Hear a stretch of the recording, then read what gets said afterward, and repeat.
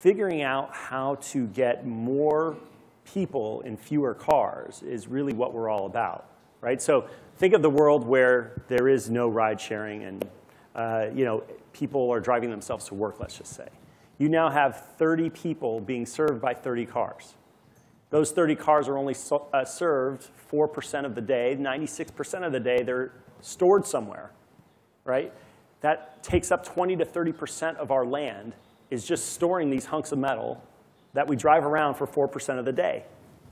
And so you go, well, we could do better. So Uber rolls out, and then, well, it's one car serving 30 people instead of 30 cars. And then we do something like Uber Pool, where you push a button, car comes, you open the door, you get in, but there's somebody else already in the car because two people are taking the same trip at the same time.